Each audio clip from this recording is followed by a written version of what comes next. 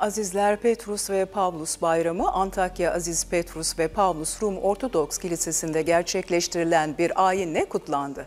Kutsal ayinde ilahiler ve İncil'den bölümler okundu. Koronavirüs tedbirleri kapsamında maskeli ve sosyal mesafe kurallarına uyularak gerçekleşen ayinde dualar edilirken cemaat üyeleri mum yakıp dileklerde bulundu. Antakya Aziz Petrus ve Pavlus Rum Ortodoks Kilisesi'ndeki özel ayinde ayrıca barış duaları edildi ve tüm azizler anıldı. Ayin sonrasında ise kilise bahçesinde cemaatin katılımı ile bir kokteyl düzenlendi.